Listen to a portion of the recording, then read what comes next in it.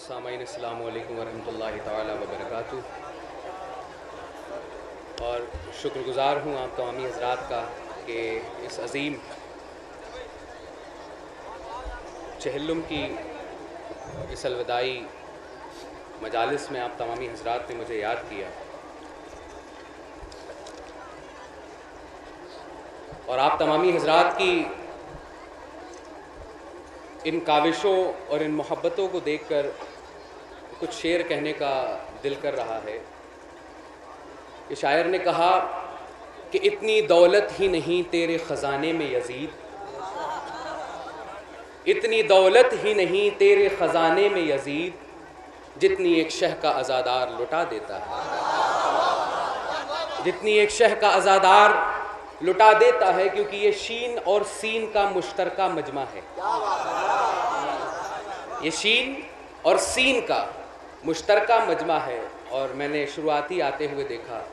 ہمارے ہندو بھائی بھی اس میں کافی شامل ہیں اور خداوند قدوس خوب ان کی توفیقات میں اضافہ فرمائے۔ اور شاعر دوسرے انداز میں کہتا ہے کہ کیوں روک ٹوک ہے حسین کا غم منانے میں؟ کیوں روک ٹوک ہے حسین کا غم منانے میں؟ کیا یزید آج بھی زندہ ہے اس زمانے میں؟ کیا یزید آج بھی زندہ ہے اس زمانے میں اور اپنے اصلی موضوع پہ آنا چاہتا ہوں کہ اگر حسین کے غم میں کچھ نہیں رکھا، اگر حسین کے غم میں کچھ نہیں رکھا، تو پھر یزید کے بچوں میں کھلبلی کیوں ہے؟ تو پھر یزید کے بچوں میں کھلبلی کیوں ہے؟ نحمدہ ونسلی ونسلم علی حبیبہ الکریم۔ اما بعد اما بعد فعوذ باللہ من الشیطان الرجیم، بسم اللہ الرحمن الرحیم. قال اللہ تعالی فی القرآن الکریم والفرقان الحکیم، لا يحب اللہ الجہر بالسوء من القول الا من ظلم. صلوات محمد علیہ میں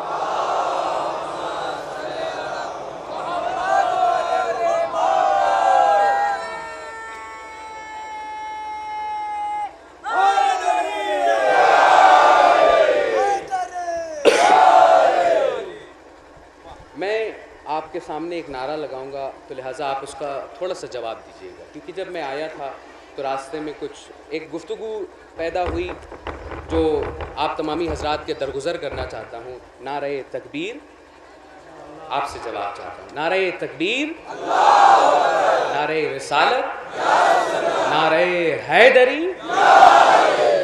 اب یہاں پہ ایک سوال ایک نے کیا کہ بھائی یہ بتائیے کہ جو حسین کا غم مناتے ہیں اور وہ لوگ جو علی کی ولایت کو تسلیم کرتے ہیں، یا ان کو شیعہ کہہ لیجیے یا ان کو صوفی کہہ لیجیے۔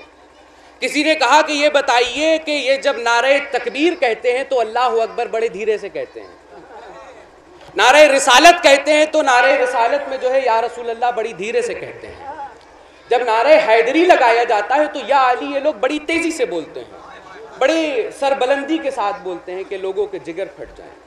عزیزان گرامی، حضرت بو علی شاہ قلندر اپنے وقت کے بہت بڑے بزرگ ہیں۔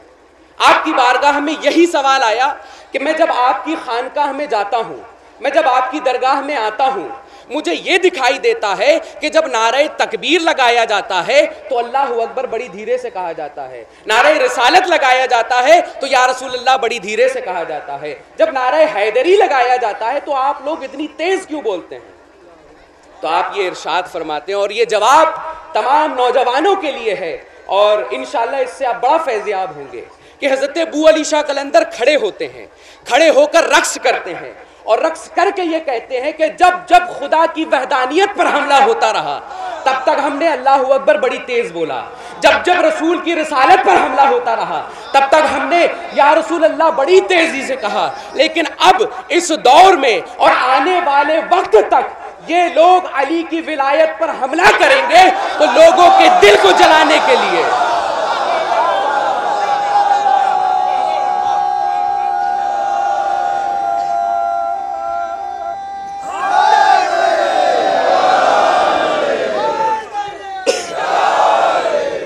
تو لوگوں کے دل کو جلانے کے لیے علی کا نام بڑا کافی ہے کہ جس کا عقیدہ ہے کہ قبر میں علی آتا ہے، حشر میں علی آتا ہے، پولیس رات پر علی آتا ہے، جس کا ایمان ہے، جس کا عقیدہ ہے کہ حشر میں علی کام آتا ہے، محشر میں علی کام آتا ہے، پولیس رات پر علی کام آتا ہے، سلسبیل اور کوثر پر علی ہے، ساقی کوثر علی ہے، قسیم جنت و نار علی ہے۔ مجھے قرآن مجید کی عزت کی قسم، سچے نبی نے یہ فرمایا کہ جب میں میراج کی رات پر گیا تو وہاں پر ایک سونے کا کنڈا میں نے دیکھا۔ اور وہ سونے کا کنڈا جب ہلتا تھا تو آواز آتی تھی، علی علی علی۔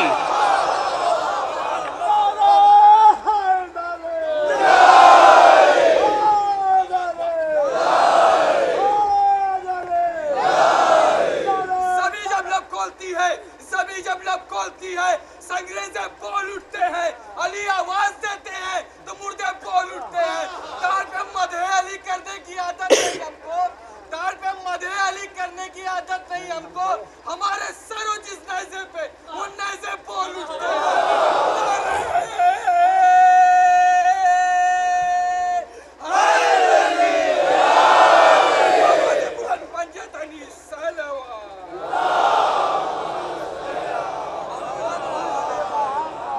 ابھی یہ بات مکمل نہیں ہوئی۔ مکمل اس طرح سے نہیں ہوئی کہ جب رسول اللہ میراج پر گئے اور وہاں دیکھا کہ وہ جب کنڈا ہلتا تھا تو اس سے آواز آتی تھی علی علی علی، تو پیغمبر نے یہ اصول بیان کر کے قیامت تک کے لیے یہ اصول بیان کر دیا کہ جنت کا کنڈا تو علی علی کر سکتا ہے، لیکن آوارہ ماں کا گنڈا علی علی نہیں کر سکتا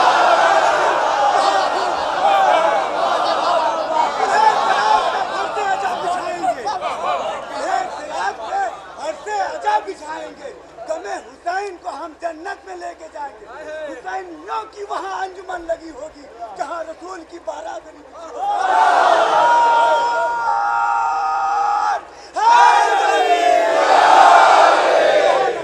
تو پیغمبر نے یہ اصول بیان کر دیا کہ جنت کا کنڈا تو علی علی کر سکتا ہے، لیکن آوارہ ماؤں کا گنڈا علی علی نہیں کر سکتا۔ اب آج جو ہم پر حملہ ہو رہا ہے، علی کی ولایت پر حملہ ہو رہا ہے اب آپ نے شان نزول دیکھا ہے۔ سورہ حمد کا، سورہ فاتحہ کا۔ لوگ الگ الگ طرح سے بیان کرتے ہیں۔ ابن ماجہ کی ایک تفسیر آپ تمامی حضرات کو بتانا چاہتا ہوں۔ ایک صحابی رسول مسجد نبوی میں بیٹھے ہوئے ہیں۔ بیٹھتے ہی ہیں کہ کہتے ہیں کہ یا رسول اللہ، اہدنا الصراط المستقیم کی جو تفسیر ہے، یہ بتائیے کہ صراط مستقیم کیا ہے۔ تو رسول اللہ کہتے ہیں، ابھی میں کچھ نہیں بتائے، بیان کروں گا۔ لہٰذا نو مرتبہ وہ صحابی کھڑے ہوتے ہیں اور کھڑے ہو کر یہ کہتے ہیں، یا رسول اللہ، اہدنا الصراط مستقیم، اہدنا الصراط المستقیم پہ جو اس صراط مستقیم کا حکم دیا گیا ہے، یہ صراط مستقیم ہے کیا؟ رسول اللہ نے نو مرتبہ جواب نہیں دیا۔ سامنے سے علی مرتضی چلے آ رہے ہیں۔ کہتے ہیں، علی میرے بغل میں آ کے بیٹھو۔ علی کا ہاتھ پکڑا اور ہاتھ پکڑ کے یہ کہا، انا ہاضا صراط المستقیم بے شک یہی صراط مستقیم ہے۔ کیا کہا؟ بے شک یہی صراط مستقیم ہے۔ ابھی بھی بات مکمل نہیں ہوئی۔ اب آپ چلیے کہ جب شیطان کو خدا بند قدوس نے اپنی بارگاہ سے نکالا تھا، تو شیطان کا پہلا جملہ یہ تھا، اے خدا، میں تیرے بندوں کو صراط مستقیم سے بھٹکاؤں گا۔ تو آج جو علی کے خلاف آوازیں بلند ہوتی ہوئی دکھیں آپ کو، علی کی ولایت پر آوازیں بلند ہوتی ہوئی دکھیں آپ کو، تو آپ سمجھ لیجیے گا، اس کا رشتہ کہیں نہ کہیں اس ابلیس سے ضرور ہے۔ اس ابلیس سے ضرور ہے۔ عزیزان گرامی، میں نے ایک آپ تمامی حضرات کے سامنے آیت پڑھی۔ سورہ نساء کی آیت، لا يحب اللہ الجہر بالسوء من القول الا من ظلم۔ اور آپ تمامی حضرات کے لیے میں ایک دلیل چھوڑ کر جانا چاہتا ہوں کہ یہ جو مجلس ازا ہے، یہ جو مجالس حسین ہے، یہ کس لیے ہے؟ کہاں سے ثابت ہیں لوگ کہتے ہیں کہ کہیں اور سے ثابت ہے، یا بدعت ہے، یا فتویٰ لگانے والے بڑے فتویٰ لگاتے ہیں۔ تو لہٰذا میں نے سورہ نساء کی ایک آیت کوٹ کی، لا يحب اللہ الجہر بالسوء من القول الا من ظلم، کہ جس کی تفسیر میں آپ تمامی حضرات کے سامنے رکھنا چاہتا ہوں کہ اللہ کو پسند نہیں ہے اونچی آواز میں احتجاج کرنا۔ اللہ کو پسند نہیں ہے اونچی آواز میں احتجاج کرنا۔ اللہ کو پسند نہیں ہے رو رو کر احتجاج کرنا۔ اللہ کو پسند نہیں ہے میں تفسیر بیان کر رہا ہوں۔ اللہ کو پسند نہیں ہے راستوں پر ماتم کا ہونا۔ اللہ کو پسند نہیں ہے اونچی آواز میں کسی کے خلاف بولنا۔ مگر قول کے ذریعے۔ اللہ کو پسند نہیں ہے راستوں پر جلوس نکلے۔ کسی کو برا لگنے والا کوئی قول۔ اونچی آواز میں اسے نہ بولا جائے۔ اب آپ اس کو اللہ کے ذریعے، اس لا کے ذریعے آپ اس کو محسوس کریں گے کہ اللہ کو پسند نہیں ہے روڈوں پر ماتم، اللہ کو پسند نہیں ہے اونچی آواز میں گریا کرنا، اللہ کو پسند نہیں ہے کسی کو برا لگنے والا کوئی جملہ، اللہ کو پسند نہیں ہے کسی کو کوئی برا لگنے والا جملہ۔ اللہ من ظلم، مگر جس پر ظلم ہوا ہو۔ مگر جس پر ظلم ہوا ہو۔ اب اللہ من ظلم سے پہلے جتنی چیزوں کی نفی کی ہوئی تھی کہ اللہ کو پسند نہیں ہے، مگر ظلم ہوا ہے تو اللہ کو پسند ہے۔ تو اب یہ کہنا چاہوں گا کہ یہ مجلس محبوب پروردگار ہے۔ یہ ماتم محبوب پروردگار ہے۔ یہ سوز خانی محبوب پروردگار ہے۔ یہ جلوس محبوب پروردگار ہے۔ اب اللہ سے پہلے جتنی بھی چیزیں اللہ نے منع کی تھی سب پلٹیں گی۔ لا یحب اللہ کہ اللہ کو پسند نہیں ہے۔ اللہ من ظلم، مگر ظلم ہوا ہے تو اللہ کو پسند ہے۔ میں ایک لمبی چوڑی فہرست آپ تمامی حضرات کے سامنے رکھ سکتا ہوں اور رکھی جا سکتی ہے کہ اللہ کو کیا پسند ہے اور کیا نہیں۔ لیکن اس وقت صرف اتنا بتانا چاہتا ہوں کہ اللہ کو حسین پر ہونے والا ماتم بہت پسند ہے۔ اللہ کو حسین پر ہونے والا یہ گریا بہت پسند ہے۔ اللہ کو یہ سوس خانی بہت پسند ہے۔ اللہ کو یہ نوحہ خانی بہت پسند ہے۔ اللہ کو یہ پسند ہے کہ ان سڑکوں پر جلوس نکلے۔ اللہ کو یہ پسند ہے کہ یہ کائنات یا حسین کہے۔ اللہ کو صرف پسند نہیں ہے، بلکہ اس طرح سے پسند ہے کہ وہ جہری ہو اور سو کے ساتھ ہو۔ جہری ہو اور سو ہو۔ تو اب خدا بند قدوس یہ کہتا ہے کہ ڈرتے کس بات سے ہو؟ خدائی میری ہے۔ خوف کس بات کا ہے؟ یہ کائنات میری ہے۔ آج جو شخص بھی ذکر حسین کے خلاف کھڑا ہوتا ہے، وہ اللہ کے خلاف کھڑا ہوتا ہے۔ تو یہ آواز، جیسا کہ میں نے کہا، یہ آواز جہری بھی ہونی چاہیے اور بسو بھی ہونی چاہیے۔ اب توجہ چاہتا ہوں اس چیز پر کہ بسو کیسے ہو سکتا ہے؟ بسو کیا ہے؟ تو اب اس لفظ کو، اس قدم کو کہ جو برا لگے یا وہ لفظ کہ جیسے، جس سے کسی کی دل آزاری ہو یا کسی کو وہ چیز بری لگے۔ تو اب آپ نے یہ سنا ہوگا علماء حق اور علماء سو۔ علماء حق اور علماء سو۔ جو چیزیں بری لگیں، اس کو سو کہتے ہیں۔ برا لفظ، برا قدم اور برا اشارہ۔ تو اس سو کے لفظ کو آسان کر کے یہ کہہ دوں کہ اللہ تبارک و تعالیٰ کہہ رہا ہے، بلکہ اللہ کی طرف سے اجازت نہیں، بلکہ اللہ کو یہ پسند ہے کہ حسین کے دشمنوں پر لانت کی جائے۔ وہ بھی جہری طور پر لانت کی جائے۔ آج جو تفرقہ پیدا کیا گیا ہے، لوگ لڑائی جھگڑا کرتے ہیں۔ لڑائی جھگڑا کر کے یہ کہتے ہیں کہ فلاں شیعہ اور سنی میں جھگڑا ہو گیا۔ فلاں شیعہ اور سنی میں فساد ہو گیا۔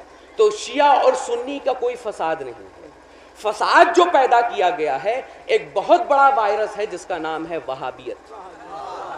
اور جیسا کہ میں نے یہاں آنے سے پہلے پوچھا تھا کہ وہابیت کیا یہاں پر ہے، تو کہا کہ رائی میں تھوڑی سی تل کی برابر، اگر پہاڑ میں تل کے برابر کہہ دیا جائے۔ تو لہٰذا، لیکن یہ جو چھوٹے چھوٹے وائرس ہوتے ہیں، یہ آپ کے لیے سب سے بڑے خطرناک ہوتے ہیں۔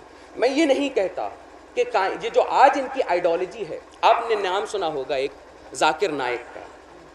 جو یزید کو بھی رضی اللہ کہتا ہے اور حسین کو بھی رضی اللہ کہتا ہے۔ اور میں شکر گزار ہوں یزید کا۔ اور میں شکر گزار ہوں ذاکر نائک کا کہ اس نے ہمیں بتا دیا۔ کیا بتایا؟ کہ اس نے یہ کہا، یزید بھی رضی اللہ ہے، حسین بھی رضی اللہ ہے تو یزید کے رضی اللہ کہنے سے حسین کی ذات چھوٹی نہیں ہو گئی۔ یزید کے رضی اللہ کہنے سے حسین کی ذات چھوٹی نہیں ہو گئی یا یزید کے رضی اللہ کہنے سے یزید کی ذات اونچی نہیں ہو گئی، بلکہ ہمیں یہ پتا چل گیا کہ رضی اللہ کی اوقات کیا ہے۔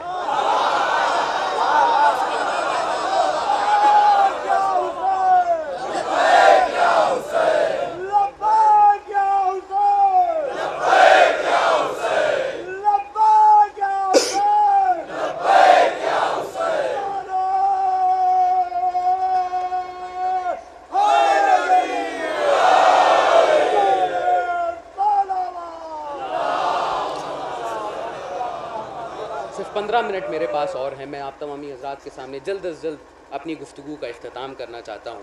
عزیزان گرامی، البتہ ہمیں یہ ضرور پتا چل گیا کہ رضی اللہ کی اوقات کیا ہے۔ آپ کس کے ساتھ لگا سکتے ہیں؟ آپ کس کے ساتھ استعمال کر سکتے ہیں؟ حسین شروع سے ہی علیہ السلام تھا۔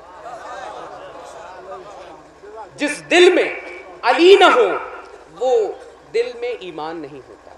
جس دل میں علی نہ ہو، وہاں ایمان نہیں ہوتا۔ اور جس دل میں حسین نہ ہو، وہ انسان نہیں ہوتا۔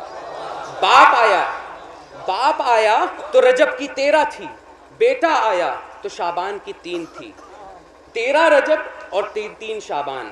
آپ نے یہ مسل سنی ہوگی کہ فلاں ایک شخص نے مجھے یہ کہا تھا کہ مولانا بڑا یزید رضی اللہ کے خلاف بولتے ہیں، نہ یہ تین میں ہے، نہ تیرہ میں۔ نہ تین میں ہے، نہ تیرہ میں ہے۔ تو اب حسین آئے، تو شابان کی تین تھی، علی آئے، تو رجب کی تیرہ تھی، تو اب جن کا تعلق ان تین اور تیرہ سے نہیں ہوتا، وہ نہ تین میں ہوتا ہے، نہ تیرہ میں۔ وہ نہ ان تین میں ہوتا ہے، نہ تیرہ میں ہوتا ہے۔ تو پیغمبر نے فرمایا کہ حسین ہدایت کا چراغ ہے اور جب چراغ جلتا ہے، تو روشنی ہوتی ہے۔ اور روشنی کبھی چوروں کو اچھی نہیں لگتی۔ روشنی کبھی چوروں کو اچھی نہیں لگتی تو بنو میہ کے حرام دودھ پر پڑنے والے ابن نامعلوم حسین کے لیے کیا کہیں گے؟ حسین کی زبان درازی، حسین کی ذات کے لیے زبان درازی کیا کہیں گے؟ ایک بہت پیارا جملہ آپ تمامی حضرات کے سامنے رکھنا چاہتا ہوں۔ کن کو حسین کا غم اچھا نہیں لگتا؟ کن کو حسین کی مجلس اچھی نہیں لگتی؟ میں ایک بیان کروں۔ جیسا کہ آپ تمامی حضرات کے سامنے میں ایک ہندوستانی پرٹینڈ کر رہا ہوں اپنے آپ کو۔ اگر میں اس ہندوستان کے، اسی شہر کے اندر، اسی گاؤں کے اندر، لورپور کے اندر، اگر میں ویر عبد الحمید کے نام کا ایک جلسہ کروں، ویر عبد الحمید کو ہسٹورین جانتے ہیں کہ کون تھا ویر عبد الحمید پرم ویر چکر وجیتا تھا، ہندوستان کے لیے شہید ہوا تھا۔ اگر اس ویر عبد الحمید کا میں جلسہ، اس کی شان میں جلسہ میں یہاں پر رکھوں، تو یہاں پر آپ تمامی حضرات بڑے ہی پیارے انداز میں اس کو ایکسیپٹ کریں گے، اس کو تسلیم کریں گے۔ لیکن اسی یہی ویر عبد الحمید کا جلسہ میں پاکستان کے اسلام آباد میں کروں۔ اگر اسی ویر عبد الحمید کے نام کا جلسہ، اس کی بہادری کا جلسہ اگر میں پاکستان کے اسلام آباد میں کروں، تو اسلام آباد والے مجھے وہاں سے باہر نکالیں گے۔ کیوں؟ کیونکہ انہیں ان کا ذکر اچھا نہیں لگے گا۔ پتا یہ چلا کہ جو جس کا ستیہ ناس کرتا ہے، اس کا ذکر اسے اچھا نہیں لگتا۔ تو اب میں ان یزیدیوں سے یہ پوچھنا چاہتا ہوں کہ حسین نے آپ کا کیا ستیہ ناس کیا ہے؟ کہ جو آپ کو حسین کا ذکر اچھا نہیں لگتا۔ عزیزان گرامی، حسین کے خلاف کھڑا ہونے والا شخص حلالی نہیں ہو سکتا۔ میں ایک بڑی پیارے انداز میں، کیونکہ یہ مشترکہ مجمع ہے، تو گرو نانک کا ایک قول اور گرو نانک کی کتاب، گرو کا گیان صفحہ تین سو بیانوے میں یہ لکھا ہوا ہے۔ ایک مرتبہ یہ سنی بھی نہیں ہے، یہ شیعہ بھی نہیں ہے، یہ ہندو بھی نہیں ہے، یہ ادر کاسٹ ہے ایک، جس کو سکھ کہا جاتا ہے۔ صفحہ تین سو بیانوے میں اپنے ملفوظات میں یہ لکھتے ہیں اور لکھ کر یہ کہتے ہیں کہ ایک میرا مرید، ایک میرا چاہنے والا، ایک میرا شش میرے پاس آیا اور آ کے کہنے لگا کہ اے میرے گرو، میں یہ یہ بتائیے، ہمیں یہ بتائیے کہ ہم کون سا ایسا کام کریں کہ جس سے دل کو چین آ جائے۔ جس سے دل کو چین آ جائے۔ تو وہ کہتے ہیں کہ ایک کام کرو، حسین کا غم مناؤ۔ ایک کام کرو، حسین کا غم مناؤ۔ تو وہ کہتا ہے کہ گرو، یہ حسین تو مسلمانوں کے رہنما ہے۔ یہ حسین تو مسلمانوں کے پیشوا ہیں۔ یہ حسین تو مسلمانوں کے امام ہیں۔ لہٰذا ہم سکھوں کا اس سے کیا لینا دینا؟ تو گرو نانک کہتے ہیں کہ میں تمہیں یہ حکم دیتا ہوں، جاؤ جا کر اپنی بہن کے ساتھ نکاح کر لو۔ گرو نانک کہتے ہیں کہ جاؤ جا کر اپنی بہن کے ساتھ نکاح کر لو۔ وہ شخص کہتا ہے کہ اے میرے گرو، میرا ضمیر گوارا نہیں کرتا کہ یہ کام میں اپنی بہن کے ساتھ کر لوں۔ میرا ضمیر گوارا نہیں کرتا کہ میں اپنی بہن کے ساتھ ایسا کام کر لوں۔ تو گرو نانک اس کا ہاتھ پکڑ کے یہ کہتے ہیں، اے میرے شش، اے میرے چاہنے والے، آج تجھے اس کام سے جس ضمیر نے روکا ہے، اس ضمیر کا نام حسین ہے۔ لہذا حسین لبیک یا حسین لبیک یا حسین لبیک یا حسین لبیک یا حسین نعرہ حیدری خدا کے چین محمد کے چین زندہ باد خدا کے دین پہ سرور کے دہن زندہ باد گوکر کے زید کو کل وہ بلند لے آئے، اسے بھی کہنا پڑے گا، حسین زندہ حسینیت زندہ باد حسینیت زندہ باد حسینیت زندہ باد یزیدیت مردہ باد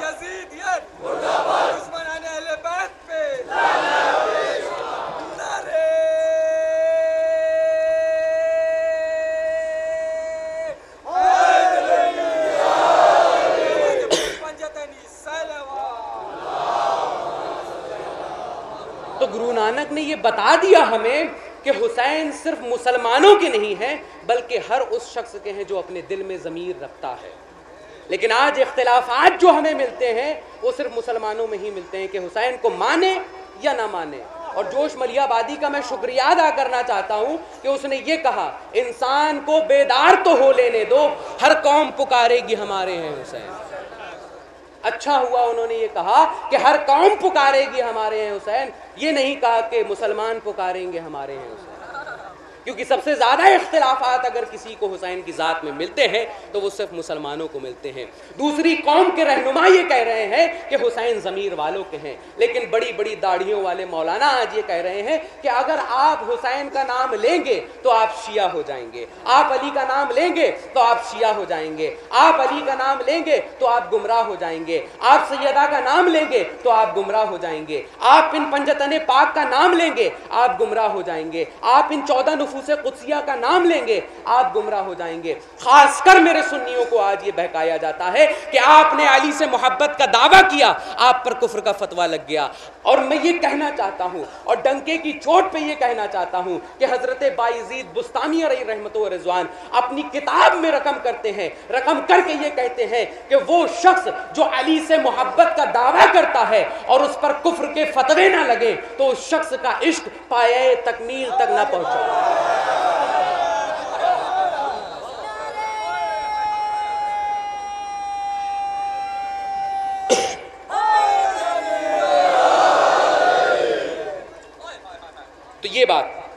عزیزان گرامی، انہوں نے فتویٰ لگایا کہ آپ نے علی سے محبت کا اظہار کیا تو آپ شیعہ ہو گئے۔ تو ایک بڑی آسان لفظوں میں اس بحث کو سلجھانا چاہتا ہوں اور حکم ہوا تھا کہ جو ہے یہ گفتگو ضرور آپ تمامی حضرات کے سامنے نظر کروں۔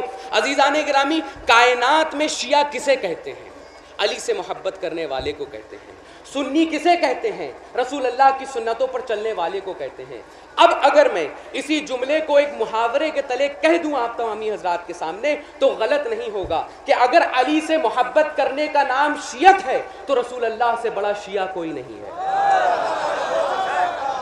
اگر رسول اللہ سے محبت، اگر علی سے محبت کرنے کا نام شیعت ہے اگر علی سے محبت کرنے کا نام شیعت ہے، تو علی سے محبت کرنے کا نام شیعت ہے، تو رسول اللہ سے بڑا شیعہ کوئی نہیں ہے۔ اگر رسول اللہ کی سنتوں پر چلنے کا نام سنیت ہے، تو علی سے بڑا سنی کوئی نہیں۔ ہے علی سے بڑا سنتوں پر چلنے والا کوئی نہیں ہے۔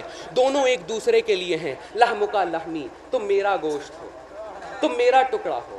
تم مجھ سے ہو۔ میں تم سے ہوں۔ عزیزان گرامی، یہ جو تعلق پیدا کیا گیا، آپ دیکھ لیجیے تمام صحابہ میں اور علی کی ذات میں۔ تمام صحابہ کا تعلق رسول اللہ کے ساتھ کا، کے اور کی کا ہے۔ تمام صحابہ کا رسول اللہ سے۔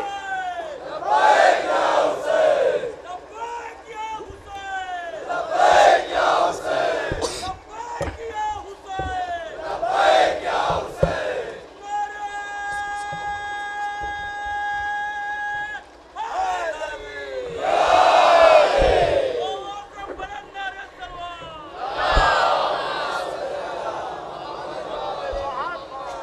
تو حسین کی ذات کے لیے بول دیا۔ میں آپ تمامی حضرات کے سامنے اس بحث کو ہی ختم کرنا چاہتا ہوں کہ اگر سنتوں پر چلنے کا نام سنیت ہے، تو علی سے بڑا سنتوں پر چلنے والا کائنات میں کوئی نہیں ہے۔ اگر علی سے محبت کرنے کا نام شیعت ہے، تو رسول اللہ سے زیادہ علی سے کوئی محبت کرنے والا نہیں ہے۔ لوگ علی کے سامنے دوسروں کو کھڑا کر دیتے ہیں اور کہتے ہیں، اور میں یہ بیان کرتا ہوں کہ دوسروں کا تعلق رسول اللہ کے ساتھ، کا، کے اور کی کا ہے۔ رسول کے صحابی، رسول کی زوجہ، رسول کے چاہنے والے۔ لیکن اہل بیت کا جو تعلق ہے، وہ کا کے اور کی کا نہیں ہے، سا سے اور سی کا ہے۔ رسول سے رسول سے، حسین سے حسین سے، رسول سے، لہم کا لہمی۔ حسین و منی و انا من الحسین۔ حسین مجھ سے ہے اور میں حسین سے ہوں۔ فاطمہ بضاعت منی۔ فاطمہ میرے جسم سے ہے۔ تو رسول اللہ کے لیے میں آپ تمامی حضرات کے سامنے اس اس بحث کو ہی خارج کرنا چاہتا ہوں کہ دوسروں کے سامنے علی کو نہ لایا جائے، کیونکہ دوسروں کا تعلق ہے وہ وہ کا کے اور کی کا ہے، اور جو اہل بیت کا تعلق ہے وہ سا سے اور سی کا ہے۔ تو ان کا تعلق یہ بڑی الگ چیز آپ تمامی حضرات کے سامنے رکھی۔ تو اب آج اس دور میں جو سب سے زیادہ بہکایا جاتا ہے، وہ آج کل کے دو کوڑی کے علماء مولوی اپنے آپ کو کہنے والے، ان کا، ان کی پہچان میں آپ تمامی حضرات کو اس طرح سے بتا دوں کہ بڑے بھائی کا کرتا پہنتے ہیں، چھوٹے بھائی کا پیجامہ پہنتے ہیں۔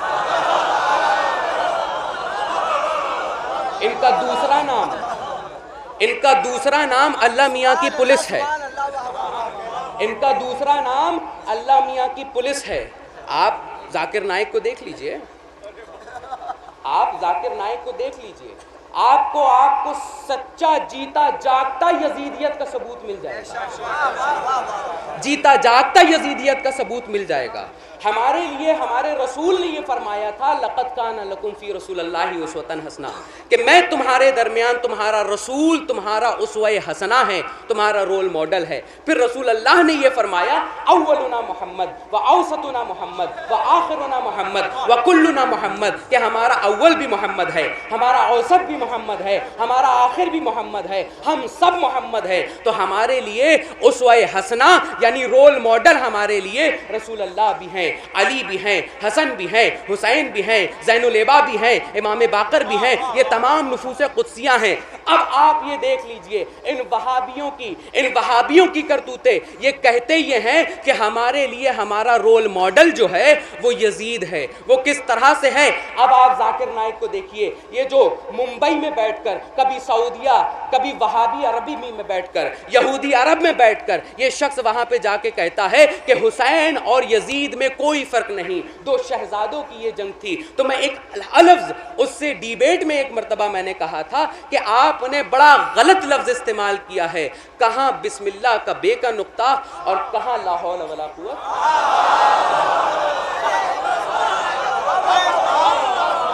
کہاں بسم اللہ؟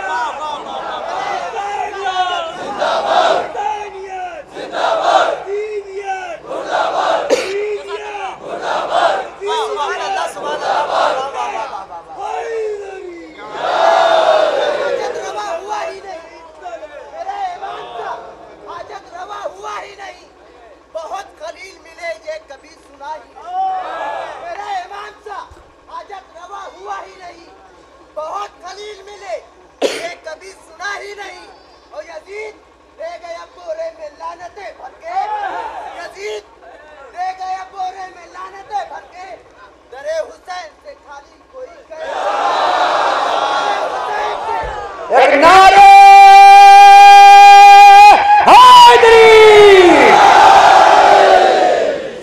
کا نام بآواز بلند لیا کیجیے۔ کیونکہ علی کا نام باواز بلند لینا رسول اللہ کی سنت ہے۔ ایک مرتبہ علی بغل میں بیٹھے ہوئے تھے۔ علی بغل میں بیٹھے ہوئے ہیں اور رسول اللہ یہ کہہ رہے ہیں، اے علی ابن ابی طالب۔ تو صحابہ چوک کے پوچھتے ہیں کہ یا رسول اللہ، علی بغل میں بیٹھے ہیں، لیکن آپ علی کا نام باواز بلند کیوں لے رہے ہیں؟ تو رسول اللہ یہ ارشاد فرماتے ہیں کہ مجھ سے خدا نے بولا ہے۔ کہ جب بھی تمہاری محفل میں لوگ زیادہ ہوں اور تم یہ دیکھنا چاہو کہ یہاں کون مومن ہے، کون منافق ہے، علی کا نام باباز بلند لے لیا کرو۔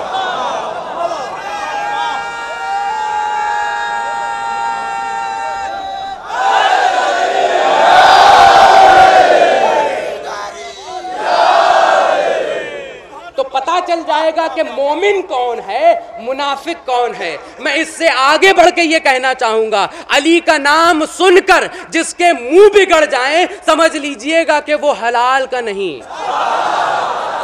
حدیث کا جملہ آپ تمامی حضرات کے سامنے نوٹ کر رہا ہوں۔ کسی بھی کتاب سے اٹھائیے، ابن ماجہ میں اٹھائیے، ابو داؤد میں اٹھائیے، نسائی میں اٹھائیے، کسی بھی کتاب کو اٹھا کے دیکھیے، حتیٰ کہ جو سب سے بڑا آج کل فتنہ چل رہا ہے، وہابیوں کا، ان کی کتاب ابن تیمیہ کی اٹھا کے دیکھیے، اس میں صاف طور سے یہ لکھا ہوا ہے، متفق علیہ حدیث ہے، اس میں یہ بیان کر دیا گیا کہ وہ شخص جو اہل بیت سے بغض رکھتا ہے، وہ تین حال سے خالی نہیں ہوتا، یا تو وہ منافق ہوگا ہوگا۔ یا تو وہ حالت ناپاکی میں پیٹ میں آیا ہوگا، یا تو وہ ولد الزنا ہوگا۔ تو کائنات میں جتنے بھی علی کے دشمن آپ کو ملیں گے، آپ کو اس کا شجرہ اگر کھنگال کے دیکھے، تو کہیں نہ کہیں ڈیفیکٹ ضرور ملے گا۔ کہیں نہ کہیں ڈیفیکٹ شروع کیا جائے؟ علی کے ذکر کے آگے یہ رات چھوڑی علی کا ذکر کہاں سے شروع کیا جائے علی کے ذکر کے آگے یہ رات چھوٹی ہے تو علی کو کیسے میں مولائے کائنات کہوں علی کو کیسے میں مولائے کائنات کہوں علی کا نام بڑا کائنات چھوٹی ہے علی کا نام بڑا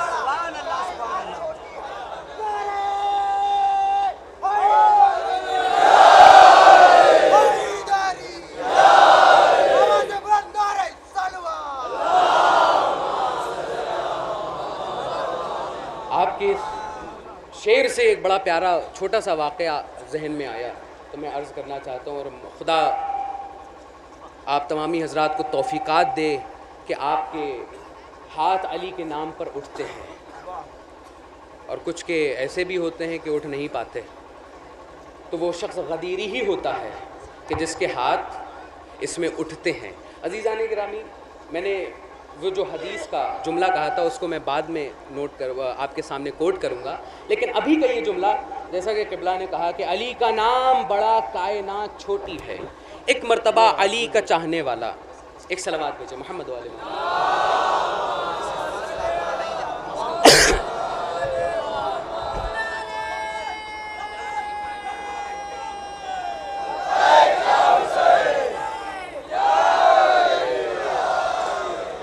ایک مرتبہ بہلول دانا ایک دریا کے کنارے ایک پیالے کو لے کر بیٹھے ہوئے تھے۔ علی کا چاہنے والا، علی سے محبت کرنے والا، علی کا چاہنے والا، علی سے محبت کرنے والا، علی کے لیے جان دینے والا، ایک مرتبہ بہلول دانا دریا کے کنارے ایک کوزے کو لے کر بیٹھا ہے۔ ہاں، دریا سے ایک کوزے سے نکالتا ہے، دوسرے کوزے میں ڈالنے لگتا ہے۔ پھر ایک کوزہ نکالتا ہے، پھر اپنے کوزے میں ڈالنے لگتا ہے۔ دریا کے کنارے دیکھ کر لوگ اس کو جمع ہو جاتے ہیں۔ اور جمع ہوتے ہیں اور جمع ہو کر یہ کہتے ہیں اے بہلول، تو کیا مجنو ہو گیا ہے؟ اے بہلول، تو کیا پاگل ہو گیا ہے کہ تیرا پیالہ بھر گیا ہے؟ لیکن پھر بھی اس سے تو پانی بھر رہا ہے، یہ پانی چھلک رہا ہے، پھر بھی تو اس میں پانی بھر رہا ہے۔ تو بہلول کہتے ہیں کہ میں یہی تو کائنات کو سمجھانا چاہتا ہوں کہ اتنا بڑا علی ہے اور اتنی چھوٹی عقلوں میں آ کیسے سکتا ہے؟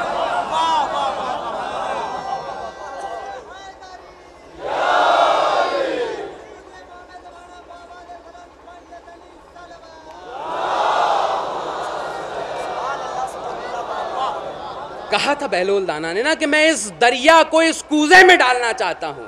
تو لہٰذا کوزے میں کیسے ڈال دیں گے؟ تو یہی کہتے ہیں بہلول دانا کہ علی کے لیے میں یہی بتانا چاہتا ہوں لوگوں کو کہ اتنا بڑا علی لوگوں کی عقلوں میں کیسے آ سکتا ہے؟ تو بو علی شاہ قلندر اپنے ملفوظات میں یہ لکھتے ہیں کہ جہاں سے عقلیں علی کو تسلیم کرنا ختم کر لیں، سمجھ لیجیے گا علی کی ابتدا وہاں سے ہوتی ہے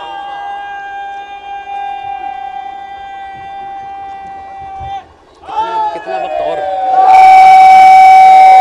کتنا وقت اور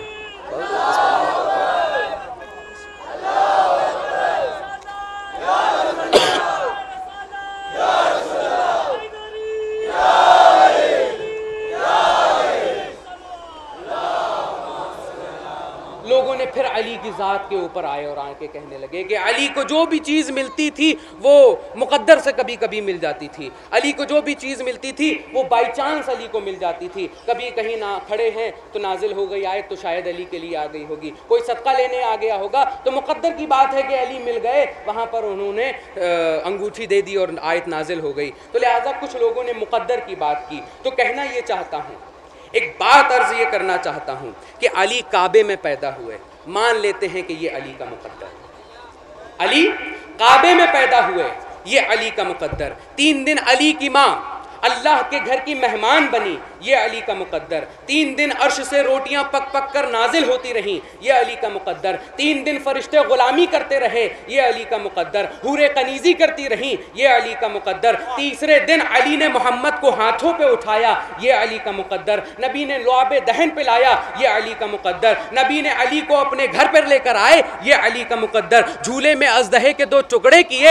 یہ علی کا مقدر۔ علی کے علی نے ابو جہل کے منہ پر تماچا مارا۔ یہ علی کا مقدر۔ مقدر، خطرے کے بستر پر محمد بن کر لیٹ گئے، یہ علی کا مقدر۔ محمد کی امانتیں واپس کی یہ علی کا مقدر۔ محمد نے علی کو اپنا بھائی بنایا، یہ علی کا مقدر۔ خیبر کا دروازہ ہوا میں اڑا دیا، یہ علی کا مقدر۔ عہد میں اللہ کے رسول کو بچایا، یہ علی کا مقدر۔ خندق میں کل ایمان بنایا، یہ علی کا مقدر۔ فاتح دارائن بنایا، یہ علی کا مقدر۔ نقطۂ بائے بسم اللہ کہلایا، یہ علی کا مقدر۔ صدقہ دیا، قرآن میں آئے اتری، مان لیتے ہیں یہ علی کا مقدر، آسمان کا تارا دروازے پر آیا، یہ علی کا مقدر۔ زہرا جیسی بیوی کا شوہر بنا، یہ علی کا مقدر۔ حسنین کا بابا بنا، یہ علی کا مقدر۔ غدیر میں مولا بنا، یہ علی کا مقدر۔ تیرے نبی کو غسل دیا، یہ علی کا مقدر۔ تیرے نبی کا جنازہ پڑھا، یہ علی کا مقدر۔ تو کہنا یہ ہے، اگر یہ سب مقدر ہے، تو علی مقدر کے محتاج نہیں، مقدر علی کا محتاج ہے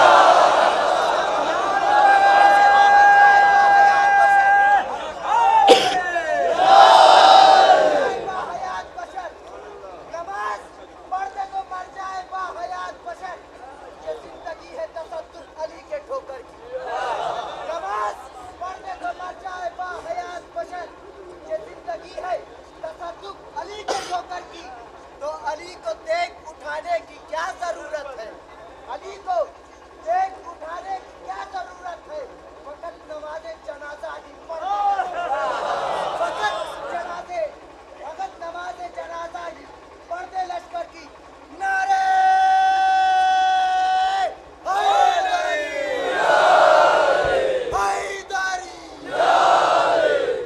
زیادہ ہے، ہو گیا ہے۔ لیکن تو دو باتیں آخری آپ تمامی حضرات کے سامنے نظر کرنا چاہتا ہوں۔ جیسا کہ پہلے میں نے ایک جگہ پہ آپ کو چھوڑا تھا، ذاکر نالائق کے اوپر۔ ذاکر نالائق کے اوپر۔ تو اب اس نے جو رول ماڈل اپنا مانا، وہ یزید کو مانا۔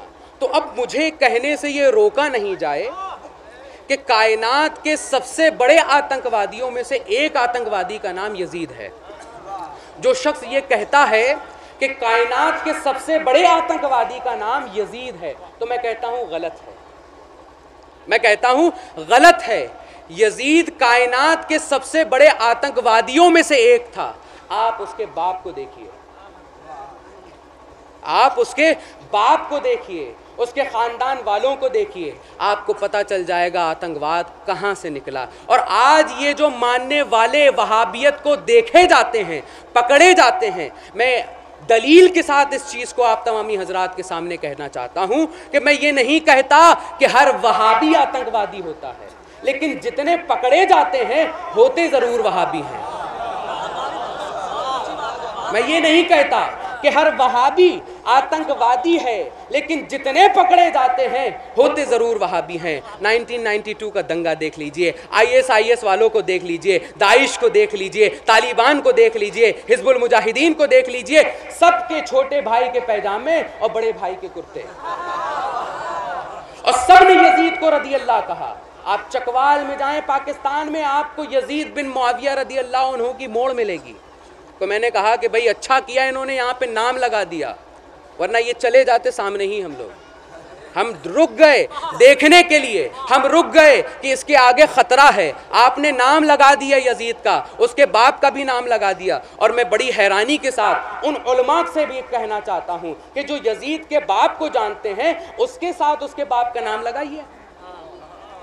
اگر کسی عالم کے پاس، اگر کسی عالم کے پاس تحقیق ہو کہ یزید فلاں کا لڑکا تھا تو وہ اس کے ساتھ اس کے باپ کا نام لگائے، ورنہ ابن ہجوم کہہ دیا جائے گا تو بات مکمل ہو جائے گی۔ تو عزیزان گرامی، یہ ایک بات عرض آپ تمامی حضرات کے سامنے کرنی ہے، کیونکہ ممبر سے اکثر لوگ یزید بن فلاں، میں غلط کہتا ہوں، میں غلط اس چیز کو مانتا ہوں۔ یزید کے باپ کا نام جس کو تحقیق کے ساتھ معلوم ہو کہ یہاں فلاں کا لڑکا تھا تو اس کے لیے کہا جائے کہ فلاں کی اولاد ہے۔ ہاں نسبتاً آپ ضرور کہہ سکتے ہیں کہ فلاں کا لڑکا تھا۔ ایک سلوات بھیجے محمد والے محمد۔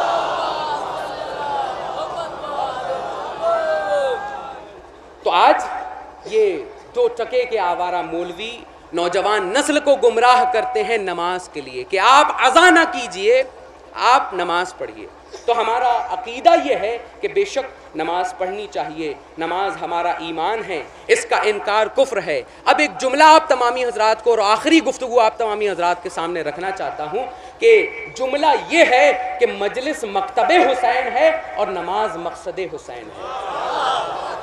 مجلس مکتب حسین ہے اور نماز مقصد حسین ہے۔ ایک شاعر کے ایک آخری بات سے میں اپنے گفتگو کے آخری باب میں داخل ہونا چاہتا ہوں کہ وقت آخر لب شبیر سے آئی یہ صدا، میرے معبود صدا ہوتی رہے تیری سنا روز اول کا جو وعدہ تھا ہوا وہ پورا۔ میں تیرا بندہ ہوں، کرتا ہوں میں تجھ سے وعدہ۔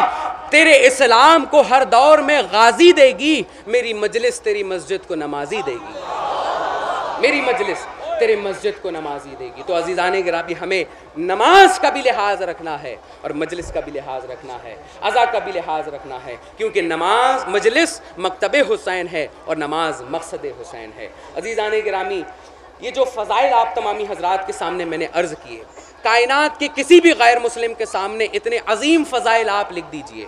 کہ قرآن کی اتنی آیتیں آپ اس کے لیے بتا دیجیے کہ فلاں شخص کے لیے آپ نام نہ بتائیے کہ یہ اہل بیت ہیں۔ آپ یہ نہ بتائیے کہ یہ اہل بیت رسول کے خاندان والے ہیں، رسول کے گھر والے ہیں۔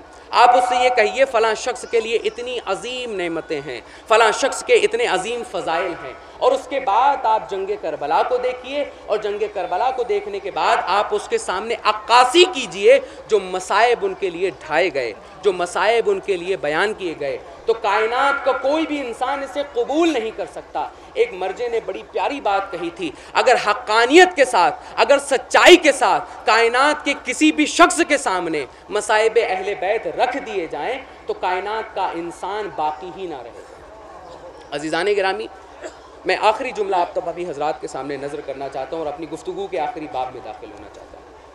کائنات کا سب سے سخت ترین دن امام حسین کے سج، امام علی اکبر کے، حضرت علی اکبر کے اذان سے شروع ہوا اور حسین کے سجدے پر ختم ہوا۔ جوانی سے شروع ہوا، ضعیفی پر ختم ہوا۔ مجھے آپ کے سامنے نہ تو مقتل پڑھنا ہے، نہ ہی مسائب کے وہ الفاظات پڑھنے ہیں جو آپ تمامی حضرات نے اکثر سنے میں صرف عکاسی کرنا چاہتا ہوں اور اس عکس کو آپ تمامی حضرات بغور سنیں اپنے دل کو کان بنا کر سنیں جو کائنات کا سب سے سخت ترین دن، جوانی سے شروع ہوا، بڑھاپے پہ ختم ہوا۔ جوانی سے شروع ہوا، ضعیفی پہ ختم ہوا۔ لوگ یہ کہتے ہیں کہ حسین کے جسم پر تین سو تیرہ تیر لگے ہوئے تھے۔ میں یہ کہنا چاہتا ہوں، نو لاکھ مارنے والے تھے، ایک میرا حسین تھا۔ نو لاکھ مارنے والے تھے، ایک میرا حسین حسین تھا۔ اگر پیچھے سے کوئی شخص یہ پوچھے کہ حسنین بقائی کہاں پر کھڑا ہوا ہے، تو پیچھے والا ایک شخص اشارہ دے کر کہے گا کہ حسنین بقائی وہ دیکھو، وہ کھڑا ہوا ہے۔ چار سال کی معصوم بچی سکینہ ہے۔ پوچھتی ہے کہ میرا بابا حسین کہاں ہے؟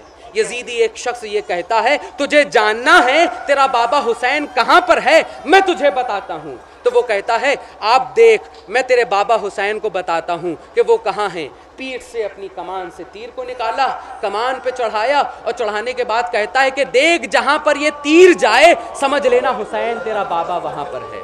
سکینہ دیکھتی ہے کیا دیکھتی ہیں کہ اس نے تیر کو چڑھایا کمان پر اور کمان پر چڑھانے کے بعد حسین کے ماتھے پر نشانہ لگایا اور نشانہ لگانے کے بعد تیر چھوڑ کر یہ کہتا ہے، اے معصوم بچی، جا کر دیکھ لے، تیرا بابا حسین وہ ہے۔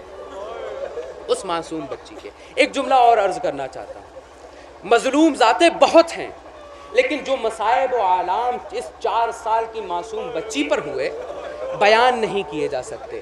آپ کو میں یہ بتاؤں کہ حسین سے اتنی محبت تھی، حسین کو اتنی محبت تھی سکینہ سے کہ کربلا سے تین دن پہلے وہ جو وہاں کا چٹیل میدان تھا، وہاں سے کانٹے اور کنکڑ اٹھا لیے تھے کہ میرے بعد کہیں سکینہ کے پیر پر یہ کنکڑ نہ چپ جائے۔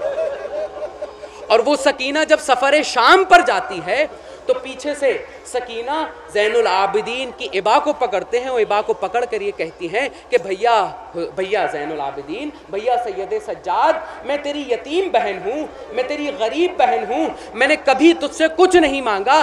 ایک چیز یہ مانگتی ہوں کہ اس شمر سے یہ کہہ دے کہ میرے چہرے پر تازیانے نہ مارے میرے چہرے پر یہ تازیانے نہ مارے، یہ میری پیٹ پر مارے۔ میں نے تماچے بھی کھائے، میں نے گوشوارے بھی لٹوائے، لیکن یہ میرے چہرے پر یہ تازیانے مارتا ہے۔ بھیا سید سجاد، مجھے بڑی تکلیف ہوتی ہے۔ عزیزان گرامی، اب آپ یہ سوچئے کہ جس نے زندگی اپنی چار سال کی سن، جس نے اپنی زندگی چار سال اس نے مکمل اپنے بابا کے سینے پر سو کر گزاری ہو اور جب زندہ میں پہنچتی ہو، اس کا عالم کیا ہوگا؟ فرت و بے قراری ہے۔ حضرت سید سیدہ سکینہ کی شہادت ہو جاتی۔ ہے میں نے شہادت بھی آپ کے سامنے نہیں عرض کرنی۔ لیکن کچھ جملے آپ تمامی حضرات کے سامنے سچے اور پورے معتمد بڑی تحقیق کے ساتھ آپ تمامی حضرات کے سامنے نظر کر رہا ہوں۔ شہادت ہو جاتی ہے سیدہ کی۔ اتنے میں حضرت سید سجاد اسے دفن کر دیتے ہیں۔ حضرت سکینہ کو دفن کر دیتے ہیں۔ ایک روایت میں میں نے یہ پڑھا تھا۔ علامہ حجر اسکلانی لکھتے ہیں کہ حضرت امام باقر سے یہ روایت ہے کہ کسی نے آ کے یہ پوچھا حضرت امام باقر سے، اے امام، ہمیں یہ بتائیے، کیا یہ بات سچ ہے کہ حضرت سکینہ کو زنجیروں سمیت دفن کر دیا گیا تھا؟ کیا یہ بات سچ ہے کہ حضرت سکینہ کو زنجیروں سمیت دفن کر دیا گیا تھا؟ عزیزان گرامی، حضرت حضرت امام کے آنکھوں سے آنسو جاری ہوتے ہیں اور جاری ہو کر یہ کہتے ہیں ہاں یہ بات سچ ہے کہ یہ حضرت سیدہ سکینہ کو زنجیروں سمیت دفن کر دیا گیا تھا۔ پوچھا کہ وجہ کیا رہی تھی؟ کہ یہ تو لخت جگر حضرت امام حسین ہیں، یہ تو لخت جگر سید سجاد ہیں۔ کیا مجبوری رہی ہوگی کہ حضرت زین العابدین نے انہیں اٹھا کر زنجیروں سمیت دفن کر دیا تھا؟ آپ روتے ہیں، رو کر بے ہوش ہو جاتے ہیں، پھر اٹھتے ہیں، پھر روتے ہیں، پھر بے ہوش ہو جاتے ہیں۔ اس طرح سے چار مرتبہ روایت میں یہ ملتا ہے، علامہ حجر اسکلانی نے یہ لکھا ہے کہ آپ نے یہ بتایا کہ چار مرتبہ آپ کے سامنے یہ چیز بیان کی جاتی ہے کہ آپ چار مرتبہ اٹھے ہیں اور بے ہوش ہوئے ہیں۔ پھر اس کے بعد جب ہوش میں آتے ہیں تو کہتے ہیں، میں خدا عزت کی قسم کھا کے کہتا ہوں۔ اپنی دادی سیدہ فاطمہ کی عصمت کی قسم کھا کے کہتا ہوں۔ جب بھی ہم نے کوشش کی سکینہ کی ہم زنجیریں اتاریں۔ جب بھی ہم نے کوشش کی کہ گلے سے توق کو اتاریں۔ جب بھی ہم نے کوشش کی پیروں سے بیڑیوں کو اتاریں۔ تو کوشش کرتے تھے تو سکینہ کا جسم جو کہ پیوست ہو چکا تھا ان بیڑیوں میں، وہ کٹ کٹ کے گرنے لگتا تھا۔ وہ کٹ کٹ کے گرنے لگتا تھا۔ عزیزان گرامی، یہ یہ مسائب و علام ہے کہ جب بیڑیاں اتنی زیادہ پیوست ہو چکی تھی آپ کے کہ آپ کے گردن سے جب بیڑیوں کو ہٹایا جاتا تھا توق سے ہٹایا جاتا تھا، ہاتھوں سے زنجیروں کو ہٹایا جاتا تھا، پیروں سے بیڑیوں کو ہٹایا جاتا تھا، تو آپ کے جسم سے وہ گوشت کے ٹکڑے کٹ کٹ کے گرنے لگتے تھے۔ تو سید سجاد نے انہیں زندہ اسی اسی زنجیروں زندہ زنجیروں کے ساتھ اسے دفن کر دیا۔ اسی طرح سے تقریباً چار سو سال پہلے ایک سید زادے کے خواب میں، ایک سیدہ کے خواب میں اس روایت میں اختلاف ہے کہ کسی سید زادے یا کسی سید زادی کے ساتھ یہ واقعہ گزرا۔ اس روایت میں اختلاف ہے۔ ایک مرتبہ خواب میں آیا کہ حضرت سکینہ نے یہ کہا کہ میری قبر پر کچھ دن کے سے پانی آ رہا ہے، لہٰذا کوئی شخص آئے یہاں پر اور آنے کے بعد اسے صحیح کرے۔ کوئی شخص آئے اور آنے کے بعد اسے صحیح کرے۔ لہٰذا قبر شک تھی، تو لہٰذا اندر گیا کوئی شخص یا کوئی اندر گئی کوئی بی بی اور جیسے ہی جاتی تھی، جیسے ہی نکلنے کی کوشش کی ہے آپ نے، تو آپ چیخ ماری اتنی زور تیز کہ اتنی تیز کہ آپ کی جان آپ کے جسم سے نکل گئی۔ اس شخص نے جیسے ہی قبر میں وہ داخل ہوا تھا، اتنی زور سے چیخ ماری کہ اس کی جان اس کے جسم سے نکل گئی۔ عزیزان گرامی، کچھ دن کے بعد کسی بہت بڑے مرجے کو، کسی بہت بڑے ولی کو آپ خواب میں دکھائی دیے اور خواب میں جیسے ہی دکھائی دیے تو یہ پوچھا، یہ بتایا، یہ پوچھا کہ اے میرے دوست، یہ ہمیں بتاؤ کہ وہ کون سا ایسا عالم، وہ کون سا ایسا غم تم نے دیکھ لیا تھا کہ تمہارے لیے اتنا کٹھن ہو گیا تھا کہ تمہارے جسم میں تمہاری روح باقی رہ جاتی۔ تو وہ شخص یہ کہتا ہے، مجھے خدا کی عزت کی قسم کھا کے کہتا ہوں، میں رسول کی رسالت کی قسم کھا کے کہتا ہوں۔ جیسے ہی میں داخل ہوا، میں نے دیکھا کہ آج بھی سکینہ کے چہرے پر تماچوں کے نشان موجود ہیں۔ آج بھی سکینہ کے گلے پر توق موجود ہیں۔ آج بھی سکینہ کے جو گوشوار نوچے گئے تھے، جو گھسیٹے گئے تھے، وہاں سے آج بھی خون جاری ہے۔ آج بھی آپ کے کرتا جلا ہوا وہاں پر موجود ہے۔ آج بھی آپ کی پیٹھ پر تازیانے کے نشان موجود ہیں۔ تو میری غیرت گوارا نہ کر پائی کہ میں سکینہ کو دیکھ کر اس طرح سے میں زندہ رہ پاؤں، میں باقی رہ پاؤں۔ عزیزان گرامی، یہ وہ بیٹی ہے، یہ وہ بیٹی ہے کہ جو بابا سے اپنی شعور پانے سے پہلے ہی جدا ہو گئی۔ اب ایک آخری جملہ آپ تمامی حضرات کے سامنے نظر کرنا چاہتا ہوں۔ مصائب کا اس سے عظیم جملہ میں آپ تمامی حضرات کے سامنے کبھی نظر نہیں کر سکتا، نہ ہی کوئی بیان کر سکتا ہے۔ عزیزان گرامی، دربار شام میں یزید لانتی کے پاس جب سیدہ سیدہ زینب اور سیدہ سکینہ سلام اللہ علیہ حق موجود تھیں، تمام اہل بیت اطہار، تمام نفوس قدسیہ وہاں پر موجود تھے۔ ایک شخص آگے بڑھا، ایک شخص آگے بڑھ کے یہ کہتا ہے کہ میں ایک چھوٹی بچی کو خریدنا چاہتا ہوں۔ یہ الفاظات ہیں، یہ تاریخ کے الفاظات ہیں۔ عزیزان گرامی، جیسے ہی حبشہ کی وہ شہزادی سیدہ فضا آگے بڑھتی ہیں کہ تم نے یہ کیسے جملہ کہہ دیا؟ تو ایک شخص ان کو مارنے کے لیے آگے بڑھتا ہے۔ تو جتنے بھی وہاں پر حبشی موجود ہوتے ہیں، وہ تلواریں کھینچ لیتے ہیں اور کھینچنے کے بعد یہ کہتے ہیں کہ اگر فضا کو کسی نے ذرا سا بھی نقصان پہنچانے کی کوشش کی، تو یہاں پر سر قلم کر دیے جائیں گے۔ یہاں پر خون کی لاشیں، یہاں پہ لاشیں بچھا دی جائیں گی۔ عزیزان گرامی، حضرت سکینہ رو کر یہ کہتی ہیں، اے میرے بابا، ہم کیسے یتیم ہیں؟ کہ یہ ہماری کنیز ہے اور ان کی موافقت میں اتنے لوگ کھڑے ہو گئے۔ ہم آپ کی اولاد ہیں، ہم آپ کے اہل بیت ہیں، لیکن ہماری موافقت میں کوئی کھڑا نہ ہوا۔ لہٰذا ہم پر یہ اعلام ہوئے، ہم پر یہ مصائب ہوئے۔ جزاکم اللہ خیر جزا خدا بند قدوس ہمیں کوئی غم نہ دے، سوائے غم حسین کے۔ ہماری آنکھوں سے کبھی آنسو نہ نکلے، سوائے مصائب اہل بیت کے رونے کے۔ جزاکم اللہ خیر الجزا السلام